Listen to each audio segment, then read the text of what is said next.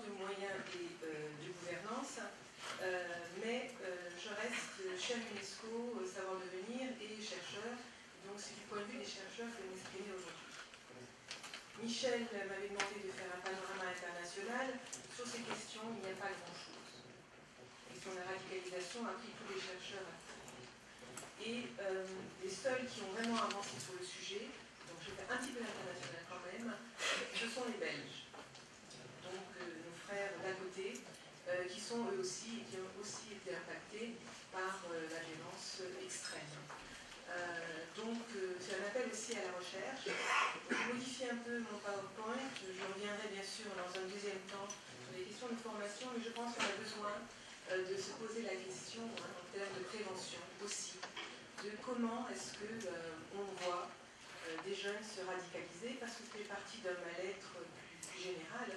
Et quelque part, la radicalisation est un symptôme d'un comportement plus médian peut-être de nos jeunes euh, dans, les temps euh, actuels, qui sont des temps anxiogènes pour eux.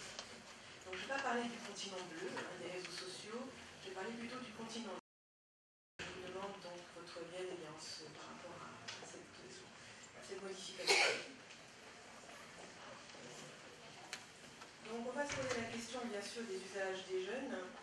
Euh, je vais essayer de le prendre sous l'angle de, la théorie de l'information-communication, mais aussi de l'action l'action qui est la vôtre, euh, sous l'angle des, pratiques et éventuellement des, postures pédagogiques et des communautés que l'on peut impliquer là-dedans.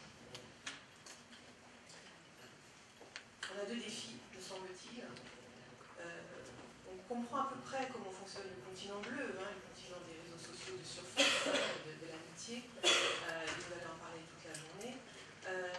Noir, évidemment, comme son nom l'indique, il est plus souterrain et on le comprend moins bien. Euh, et il y a une hypothèse non confirmée qui le radicalise. encore, euh, Pascal euh, Garot me signalait que M. Macron va parler à, Google et que Google est responsable. je pense qu'il y a des, prises de position comme ça à l'envers de pièces qui sont problématiques. Donc premier défi, essayer de comprendre. Et deuxième défi, comment on forme, bien entendu. L'univers informationnel d'un jeune normal, non radicalisé, si je puis dire, c'est celui-là. Hein. Il est extrêmement complexe, il est extrêmement riche, il est surtout dans le bleu. Euh, il n'est pas détaché du papier euh, numérique. Le papier et le médiatique s'entendant relativement bien pour le moment dans des usages extrêmement hybrides entre les jeunes. Euh, cet univers devient unilatéral, hein, où il n'y a que des, consultation euh, très très spécifique hein, et non plus pluraliste qu'il faut vous alerter, qu'il faut vous dire qu'il y a quelque chose qui se passe.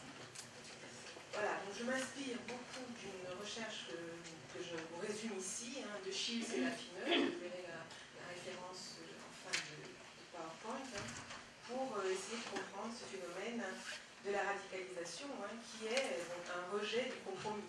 Euh, par contraste avec le radicalisme, qui est un mouvement politique qui, lui, cherche le compromis. Il y a des facteurs de risque, et aucun de ces facteurs n'est médiatique. C'est contexte, la ségrégation, le chômage, c'est des facteurs psychologiques, notamment au niveau des jeunes, euh, le sentiment de l'injustice, cette période extrêmement compliquée, euh, du pic d'internalité, hein, quand les jeunes se demandent quelle est leur utilité sociale et que ce qu'on leur présente c'est le chômage ou une école obsolète qui ne les forme pas au métier d'avenir. Et puis il y a des facteurs externes, euh, notamment la présence de groupes radicaux dans la proximité. Voilà, et l'idéologie là-dedans, même si c'est ce dont nous parlent les médias, ça n'est pas ce qui est le facteur central. Et il y a des préconditions. Et là, nous pouvons avoir déjà un premier rôle d'alerte et d'attention. Euh, un événement déclencheur peut faire basculer un jeune.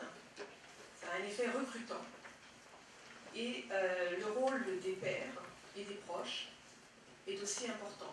Ces jeunes, une fois qu'ils sont euh, radicalisés, se retrouvent en petits groupes, ils agissent rarement seuls, même si c'est l'impression qu'on a, et il y a une contagion du petit groupe. Là aussi, c'est à remarquer. Euh, autre précondition, il faut qu'il y ait dans le pays, dans la culture, éventuellement sur les médias, une offre construite des mouvements extrémistes. Un discours qui présente une vision et une proposition d'avenir, même si c'est de se faire exploser. Ce qui est paradoxal pour une idéologie de ce type-là. Mais qui est en cohérence avec les besoins cognitifs identifiés de ces jeunes, hein, c'est-à-dire le sens de l'injustice, le besoin d'inclusion sociale, le besoin de donner du sens à leur utilité sociale. Et donc, euh, troisième précondition, l'accessibilité des points de vue extrémistes. Alors la raison pour laquelle on parle et on fait cette hypothèse de la radicalisation par les réseaux sociaux, c'est qu'il y a beaucoup de similitudes entre la façon dont fonctionnent les réseaux radicaux et la façon dont fonctionnent les réseaux sociaux. Euh, d'abord, euh, il y a une grande interactivité.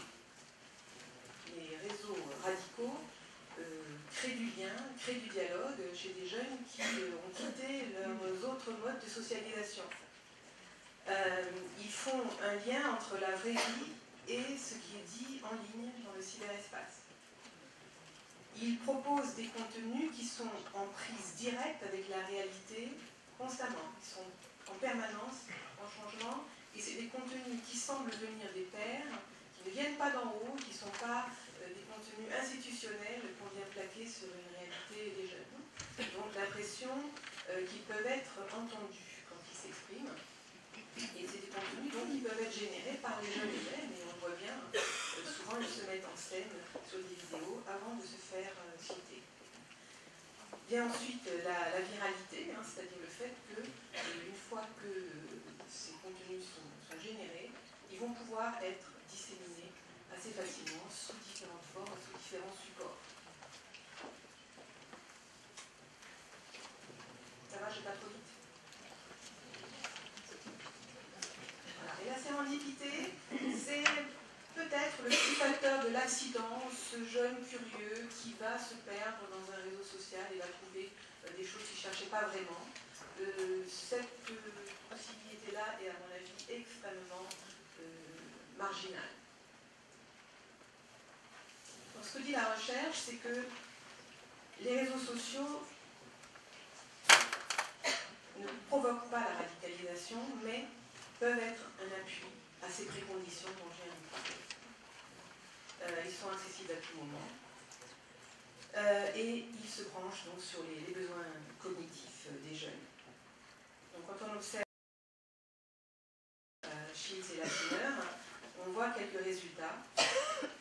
Quand un jeune s'est radicalisé, là, il y a un gros effet de l'information extrémiste quand elle est délibérément recherchée. Pas quand ils y arrivent par hasard. Pas quand ils voient passer des informations sur les sites. C'est quand ils sont en action, en volonté de recherche, qu'à ce moment-là, tout ce qu'ils trouvent fait sens.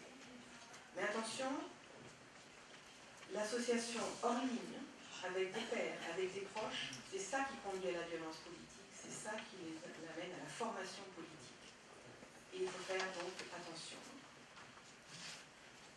L'effet des réseaux sociaux n'est pas problématique jusqu'à un certain niveau d'exposition.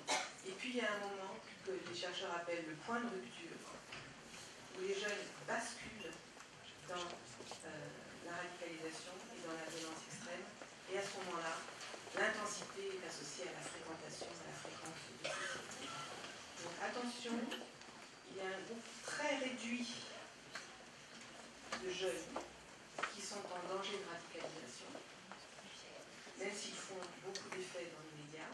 Attention à ne pas stigmatiser tous les jeunes. Et l'autosélection, le choix qu'ils font de la bascule, euh, c'est quelque chose qui va être déterminant hein, pour le genre de sites et d'espaces virtuels qu'ils vont visiter. Les sites passifs, ceux qu'on mentionne en ce moment, hein, euh, qui ciblent une certaine population, on peut les faire. On voit ces images, mais chez des gens qui ne sont pas radicalisés, ces images vont plutôt générer de de, l'horreur que du recrutement. Les sites actifs, oui, mais ces sites-là, on n'y accède pas facilement. Quand on dit de taper sur un compte Instagram sur un compte Twitter pour avoir accès à, des sites extrémistes, attention. Il faut toute une série de pattes blanches, hein, de sésame, de codes. Hein. donc, ils sont très très sécurisés, ils se savent surveiller, ils sont très très difficiles d'accès et je pense qu'ils sont plus faciles d'accès par les jeux vidéo d'ailleurs que par les, réseaux sociaux. Voilà. Et par contre, malheureusement, tous les sites à contre-discours, anti-extrémisme, eh bien, euh, pour le moment, ils ne changent pas grand-chose chez les jeunes déjà radicalisés. Donc la solution, c'est de s'identifier avant qu'ils se radicalisent. Facile à dire. Donc euh, c'est juste pour euh, résumer un petit peu, hein. c'est la recherche active d'information hein, qui va faire que les réseaux sociaux vont rencontrer un public et certains, bien sûr, certains sites radicaux. Alors nous, sur quoi faut-il qu'on se concentre en termes de prévention? Il faut repérer le rôle de l'inconfort moral de ces jeunes fait qu'ils ont l'impression d'un très grand, très grand décalage entre la vie réelle et la vie ressentie. vous allez me dire, ça ressemble beaucoup à des ados qui se posent des questions. Donc, euh, il faut les faire parler pour voir à quel point ils en sont hein, dans, leur comportement. Euh, beaucoup, ils mettent en cause la légitimité des autorités. Une grande crise des institutions, vous le savez, y compris l'institution familiale. Euh, il y a un grand sentiment de désillusion des pères et de, rupture de confiance, notamment dans, les adultes. Et donc là, on a beaucoup de, réparations à faire hein, dans, le, lien, social. Et euh, ce qu'on remarque, c'est qu'il y a euh, peut-être une rupture dans les apprentissages aux barrières morales. Normalement, euh, l'impératif moral des sociétés, hein, à partir de 5-6 ans, fait qu'on inhibe la violence. on apprend à la réguler il y a une rupture de la régulation. Mais euh, ce que disent les collègues belges, hein, c'est que chez les jeunes qui vont vers la radicalisation, c'est plutôt une résignation à la violence. Ils, ne trouvent plus d'autres solutions. Nous, on les voit dans, dans des, étapes euphoriques, hein, euh, juste avant de, se faire sauter, qui, sont liées ensuite à une forme d'endoctrinement, hein. mais euh, ils n'y vont pas joyeusement il y a une résignation au fait que la violence, c'est pour eux la seule solution pour se faire entendre, pour se faire comprendre. Et c'est une violence qui retourne contre eux-mêmes. Donc c'est euh, très très grave hein, par rapport à. Donc pour nous, il faut qu'on se concentre sur les problèmes structurels, le chômage, euh, le, lien des institutions, euh, récréation de la confiance, les processus de et, et donc rétablir la socialisation comme réponse au risque de la radicalisation. Je crois que c'est peut-être ça le plus important de ce que nous disent les chercheurs. Alors, et maintenant j'en viens au continent bleu, le continent euh, de toutes les couleurs qui est celui de la formation et de notre travail au quotidien. Euh, pour moi, euh, la formation numérique n'a pas de sens si le numérique c'est juste coder. C'est pour ça que je milite pour l'EMI, pour l'éducation aux médias et à l'information. Parce que c'est elle qui porte les valeurs, y compris les valeurs de la République. Et elle peut la porter de manière très concrète hein, et non pas abstraite. Donc euh, l'EMI, dans le numérique, le médiatique dans le numérique, c'est absolument essentiel. Communiquer, retrouver hein, les valeurs du vivre ensemble par la communication. C'est comme ça qu'on peut espérer euh, faire revenir ces jeunes hein, dans un processus de socialisation et d'individuation bien compris. Et de ce point de vue-là, le numérique, dans le cas de, ce groupe de jeunes, hein, il, propose toutes sortes d'espaces d'écriture, de lecture et de publication. Et euh, les jeunes se retrouvent dans des lieux euh, publics. Hein. vous voyez, il y en a trois qui travaillent ensemble sur un ordi. plus loin, il y en a trois sur un sofa en train de lire, etc. etc. ils recréent des espaces semi-publics semi-privés, même dans les espaces euh, publics qu'on peut leur offrir. Et il faut leur offrir des espaces publics. Il ne faut pas qu'ils s'isolent dans la chambre numérique ou qu'ils s'isolent hein, dans, leur euh, pensée euh, noire du continent noir. Donc il nous faut réfléchir hein, à la médiation numérique et à la médiation pédagogique et pas les poser l'une contre l'autre. Euh, c'est-à-dire qu'il faut qu'il y ait toujours des humains en présence des ordinateurs. Hein, J'enfonce les portes ouvertes, hein, mais euh, il y a un grand impact des communautés de pratique et pas simplement euh, de l'interface homme-machine. L'interaction et l'interactivité doivent aller de pair. Ce qu'on trouve, nous, au niveau de la NR Transit, c'est qu'au niveau de la médiation pédagogique, il faut les dispositifs minimaux d'apprentissage. Il faut un projet, une pédagogie du projet, ce qui n'est pas souvent pratiqué en France, malheureusement, et qui est la base même de l'EMI. Il faut des consignes claires pour que euh, les élèves ne se retrouvent pas euh, juste abandonnés dans le éclate-toi, qu'est-ce que tu veux en ligne, et qui est souvent une des façons dont les enseignants pensent qu'ils adoptent le numérique euh, nous devons leur donner des repères. Euh, il faut lever les blocages techniques, ça, Dieu merci, il y en a, euh, mais on peut arriver à les, débloquer.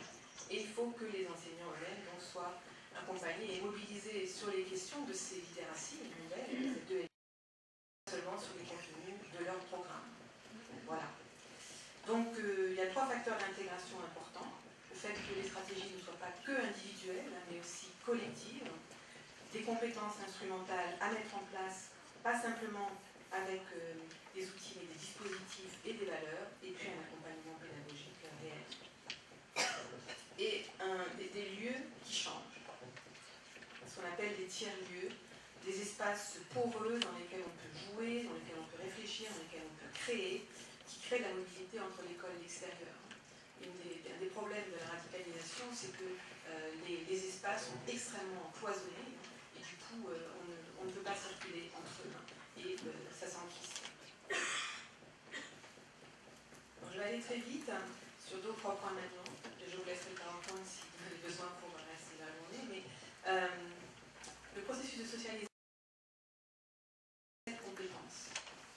Les trois premières sont souvent pratiquées à l'école. Compréhension, critique, esprit critique, créativité. C'est à peu près euh, compris. Ce qui est beaucoup moins pratiqué à l'école, et il n'y a pas de problème, on peut le faire aussi hors l'école, si l'école veut bien sortir de ses murs. Euh, c'est notamment les trois dernières dont je vous parle, la citoyenneté, la communication interculturelle et le conflit, et surtout la résolution de conflits. En ce moment, c'est la compétence qu'on me demande le plus d'aller expliquer dans les classes, en France comme dans le monde entier. Parce que, évidemment, la France n'est pas seule face à ce processus de radicalisation, il faut qu'on le sache, il faut qu'on aille chercher des ressources aussi dans les communautés extérieures. La résolution de conflits, c'est tout bêtement remettre du dialogue, dialogue interculturel, du dialogue interculturel entre des jeunes, des communautés, des adultes et des jeunes. Média, on regarde euh, les représentations, les stéréotypes, la culture partagée des uns et des autres. Euh, tout ça, on a des exemples qui marchent bien, je vais vous en donner tout à l'heure. Et puis la médiation numérique, euh, qui fait partie de la formation nécessaire maintenant des uns et des autres. Hein. Jenkins en proposait 7 à 8 hein, de, ce, répertoire de stratégies qui, vous le voyez derrière, ont des implications cognitives. Jouer, c'est pas simplement jouer, c'est résoudre des problèmes. Simuler, visualiser des données, c'est pas juste, juste s'amuser à faire des trucs avec des couleurs. Hein. C'est modéliser de manière dynamique et sans, danger, sans prise de risque, euh, des événements de la réalité qui nous intéressent. Agréger les contenus, c'est pour découvrir des choses. Remixer et échantillonner, c'est pour se rendre compte qu'il y a la capacité de créer à partir d'autres choses déjà créées par d'autres, etc., etc.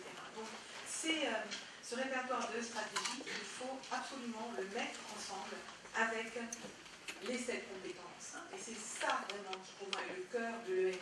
C'est concret. Je résume ainsi. Par le cube pédagogique, c'est-à-dire les sept compétences, le répertoire des stratégies, tous les médias, parce que évidemment, l'horizon multimédial, c'est bien. Euh, maintenant, on n'est plus que sur du texte, hein, même si beaucoup d'enseignants fonctionnent encore là-dessus. Hein. Euh, il faut, le texte est extrêmement dynamique et extrêmement animé. Tout est ensemble, y compris le jeu. Et puis, toutes les formes d'apprentissage. Et pas une seule qui peut mettre en échec une grande partie de la population. On n'est pas simplement dans la déduction-induction maintenant. On est dans l'imitation, on est dans le faire, dans la sémanticité. Ce que le cube montre, ce qui est important en formation, c'est que les jeunes, comme les enseignants, doivent être formés de la même manière. En ce moment, on n'est pas formés de la même manière. On est formés, nous, à transmettre des savoirs, ils sont formés à rendre des compétences. Ça ne se parle pas. Et donc on n'est pas formés de la même manière, on ne peut pas les former de la même manière. Donc il faut absolument arriver à nous aligner. On est tous à la case zéro, si je puis dire, par rapport à ça, c'est en travaillant ensemble qu'on va y arriver. Il faut des modèles d'apprentissage la socialisation tout au long du processus. Ce qu'on vise, c'est faire des jeunes qui ont euh, le sens des valeurs, qui y croient et qui savent comment, justement, agir avec. L'empowerment, c'est le pouvoir d'agir. Et les institutions de formation que vous êtes, que nous sommes, ont un rôle fondamental. Il faut que nous soyons des incubateurs pédagogiques, il faut qu'on cherche, pas nécessairement qu'on trouve, et qu'on soit en recherche et que les étudiants et les jeunes nous voient chercher. On n'a pas une réponse. Il n'y a plus une seule réponse. Il faut que chacun arrive à trouver la sienne. Il faut donc que vous soyez des, animateurs, euh, des formateurs, des accompagnateurs. Et je sais que je prêche à des convaincus. Je voulais vous donner un exemple de comment former, et c'est euh, par les cours massivement ouverts en ligne. Autrement dit, euh, j'en ai un certain nombre sont créés grâce au projet ECO, qui est un projet européen, mais il y en a d'autres en France euh, par FUN. Et il y a plusieurs MOOC sur l'éducation aux médias et à l'information. Euh, le mien, c'est le MOOC euh, DIY, un D-I-Y-E-M-I, mais il y a un MOOC EMI, il y a un Doctis. Cette éclosion de MOOC sur ce domaine, pour moi, est significative du fait que les chercheurs et les enseignants ont identifié qu'il y avait un besoin massif de formation transversale de tout le monde à ces questions. Alors, dans euh, la dernière session de notre MOOC, parce que les MOOC c'est extrêmement souple, c'est extrêmement réactif, nous avons inclus euh, toute une session sur comment mettre un projet de MI en marche. C'est très peu lisible là. Euh, mais dont une des était comment lutter contre la terreur et la peur. et nous avons identifier un certain nombre de pratiques sensées. Nous ne parlons pas de bonne pratique. Parce qu'une bonne pratique, c'est injonction. Tu la prends telle qu'elle est. Non. Nous parlons de pratiques sensées. Des choses qui font sens dans une communauté, que l'on peut décrypter et que l'on peut transférer à la sienne. Et je crois que de plus en plus, il faut être à la recherche de ces pratiques sensées pour s'en inspirer, parce que le numérique est aussi une solution pour le numérique. Ces échanges, etc surtout parce qu'un MOOC, euh, parce qu'un MOOC, c'est basé sur une communauté, une communauté de euh, formateurs, une communauté d'enseignants, tout autant que d'élèves, hein, et une communauté qui se forme tout au long de la vie. Vous n'allez pas tous repartir à l'école avoir un diplôme sur deux ans. Ça n'a pas de sens. Vous avez besoin de vous mettre à jour. Hein. Donc, la formation, c'est possible, et en ce moment, il y a de plus en plus d'outils qui vont vous permettre de le faire. Par exemple, hein, je vous montre euh, les sept compétences, elles sont explicitées là. Et ça plaisir à Michel, il y a toute une partie sur les différents exemples internationaux, donc euh, je ne fais pas la conférence des exemples internationaux, vous trouverez dans la session 5 euh, du MOOC DIY. il y a des boîtes à outils numériques, bien sûr, il y a toutes sortes de pratiques, et je vous signale ECFOLI, la dernière, est une pratique que je mène maintenant sur la Méditerranée, avec des pays qui sont en conflit armé ou pas, Chypre, la Palestine, le Maroc, le Portugal, la France, hein, et où nous allons mettre le dialogue interculturel au cœur de la résolution de conflits. C'est ce que nous sommes en train de tester. Et je pense que c'est vers ça qu'il faut qu'on aille. Dernier point je voudrais vous laisser, avec lequel je voudrais vous laisser. On parle de médiation numérique, pédagogique, etc. Moi, il me semble que la plus grande urgence pour nous, les Français, et ce n'est pas le cas d'autres pays, c'est de mettre au point une pédagogie de la participation nous ne savons pas faire parler nos jeunes. Nous ne savons pas libérer leur parole. Nous ne savons pas les aider à s'exprimer de manière à ce qu'ils ne parlent pas à chaud. Nous ne savons pas les faire écouter, négocier. Ça se voit à tous les niveaux de notre pays, que ce soit au niveau politique, économique, etc. Donc, nous avons un enjeu central maintenant, avec ces événements catastrophiques, de nous prendre par la main, de nous prendre la tête, pour essayer de mettre en place ce que pourrait être cette pédagogie de la participation. On nous rebat les oreilles, parce que apparemment, le numérique participatif. Ça ne se décrète pas. Il nous reste 8 minutes, donc je propose de mettre en œuvre euh, la pédagogie de la participation. Peut-être en posant une question à, à qui parmi euh, la salle a, participé à au moins un mot. Qui a déjà participé à un MOOC voilà. Et donc, est-ce que vous pouvez redonner le, le développement des deux cycles EMI et MOOC, pour soit bien au clair Alors, EMI. ENI, éducation aux médias et à l'information. D'accord. Ça veut dire. Euh, euh, information au sens, hein, non plus seulement français, international, euh, information au sens international, au sens d'ailleurs de l'UNESCO, c'est-à-dire à la fois l'actualité et les médias au sens plus classique, la surveillance de notre environnement immédiat, mais aussi l'information au sens du document numérique, qui, du fait qu'il soit informatisé, devient extrêmement portable, extrêmement sécable, petit morceau, extrêmement remixable. C'est ça qui fait qu'il y a des gros problèmes avec le numérique et des grandes potentialités du numérique. Hein. C'est qu'on peut remélanger toutes sortes de documents parce qu'on peut les redécouper et les recomposer à notre manière. Donc c'est extrêmement puissant. Voilà pour le I de information. Et le M de MOOC Alors MOOC, c'est un mot qu'on a rapatrié de l'anglais. Euh, on n'a pas un bon terme en français. En québécois, oui. On les appelle des diplômes français, c'est pas très porteur. En, québécois, ils parlent de formation. Voilà, on parle de flow, hein, mais une formation, ça implique qu'il y ait euh, une diplomation et cours. Or, ça n'existe pas je suis en train de proposer le premier diplôme universitaire numérique à la Sorbonne Nouvelle, hein, avec trois MOOC. Euh, mais pour le moment, les flots n'existent pas. C'est une, une, promesse d'avenir et on va y aller. On va y aller parce que les besoins sont énormes, hein, notamment de formation continue. Formation initiale, le problème est un peu différent. Hein. En formation continue, celle qui nous concerne tous, euh, les MOOC sont une des solutions. Ils en sont encore euh, à, au BABA. Et moi, je ne pratique pas les MOOC corporate. Les MOOC que nous mettons en avant, d'entre nous, sont des SMOOC, des, MOOC sociaux, social MOOC, qui s'appuient plutôt sur la communauté d'enseignants et de participants. Voilà. Les MOOC, c'est des cours massivement ouverts en ligne et ils sont libres et gratuits.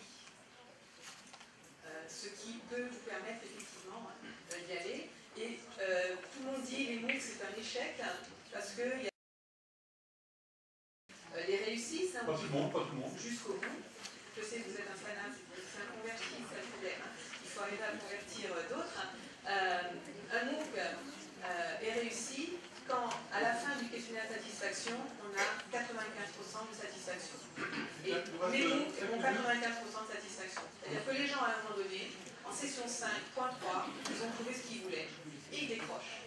Et c'est tant mieux. Je propose qu'on a commencé cette extraction en il nous reste 4 minutes, si éventuellement il y a une réaction ou une question dans la salle sur la présentation euh, de Divina. Donc euh, l'océan noir, l'océan bleu et des perspectives euh, très concrètes pour développer l'océan bleu avec des des adolescents. Une remarque Alors peut-être le, le, mot de conclusion de, cette présentation entre les réseaux sociaux, d'une part, bien entendu, et d'autre part les réseaux sociaux numériques qui jouent la complémentarité de, la relation de personne à personne et de relation entre la personne via les, avatars numériques. C'est ça, euh, cette complémentarité Tout à fait, hein, je crois que c'est vraiment, nous-mêmes au niveau des MOOC, on s'en rend bien compte, hein, que les MOOC créent la confiance seulement quand les gens commencent à se connaître. Il y a maintenant par exemple des regroupements euh, territoriaux de participants de nous. Donc on voit bien que de plus en plus, qu'il faut établir, c'est bien cette circulation entre la vie réelle euh, et la vie, euh, la vie en physique, si vous voulez, en, hors ligne et la vie en ligne. Hein. C'est un des enjeux pour que les jeunes restent socialisés hein, participions à cette socialisation. Et je crois qu'on a un rôle euh, voilà, de... Pour moi, ce n'est pas de la prévention, c'est de l'anticipation. Hein, maintenant qu'on sait et qu'on voit comment ça fonctionne, on sait qu'il peut y avoir du bien-être médié. Euh, mais ce bien-être passe aussi par, euh, par de la confiance de personne à personne. Donc euh, il faut continuer à se battre, ne pas céder à, à la peur et à la terreur du continent noir, hein. euh, mais le continent bleu aussi, euh, c'est davantage des inconvénients, vous en parlez avec la question de l'addiction, hein. mais il peut aussi être utile pour les échanges. Les mots, par exemple, rôle sur les réseaux sociaux non commerciaux, intégrés, et qui permettent justement des échanges sans traçabilité, par exemple. Donc il y a toutes sortes de solutions qui sont en train de se mettre en place. Ce que je dirais, c'est qu'il n'y a pas de fatalité du numérique. Il ne faut pas croire ce qu'on dit. Genre, vous êtes tout le temps traçable, etc. Euh, on peut trouver des solutions non traçables, euh, des, réseaux sociaux qui ne tracent pas, des moteurs de recherche qui ne tracent pas. Euh, donc, on peut aider à, à, préserver la liberté des gens. et il faut se battre pour ces valeurs. Donc, je crois que si j'ai peut-être un mot de la fin, c'est que le combat sur les valeurs reste notre vrai combat en tant que formateur. Et les valeurs, ce sont les valeurs du vivre ensemble. Donc ce n'est pas celle de la mort, et ce n'est pas celle de la terreur. Dans les droits de l'homme, euh, il y a un droit à la dignité, il y a un droit à la vie, il y a un droit à la d'expression, il y a un droit à la participation. Allez voir les articles 3, 19, 27 et 26, euh, vous verrez. Et ce qu'il faut se dire, c'est qu'il faut séparer aucun de ces articles. C'est comme les bonnes humains. Il faut que tous ces articles soient présents ensemble, mais nos jeunes doivent les redécouvrir. Ces articles sont abstraits. Ils ont été imposés d'en haut, juste après la Deuxième Guerre mondiale. Euh, eux, il faut qu'ils les redécouvrent de manière éthique, par leur pratique, par leur pratique notamment des réseaux sociaux. Et là, ils sont une formidable école. Notre collègue.